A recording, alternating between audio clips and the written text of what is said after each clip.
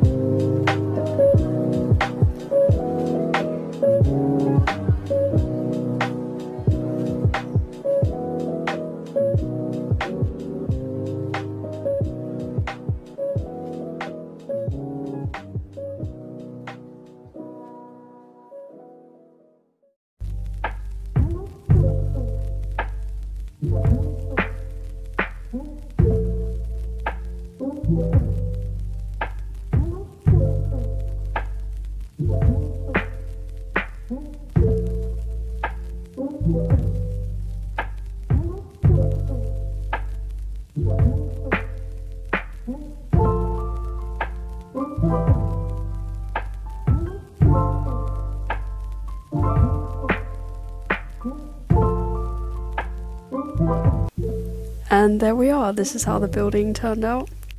I did a lot of running around in this video as well. I wasn't sure what kind of designs I wanted, I was chopping and changing between things, but we got there in the end. The bookshelves were so hard to put down, they were giving me such a hard time. but anyways, I hope you liked the video and I hope you enjoyed it. Let me know what you think of the build down below in the comments.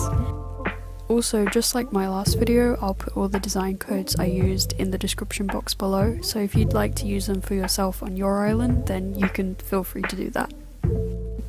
If you did like this video, then make sure to give it a like and consider subscribing if you'd like to see more content from me. Thank you so much for watching, and I will see you guys in the next one. Bye!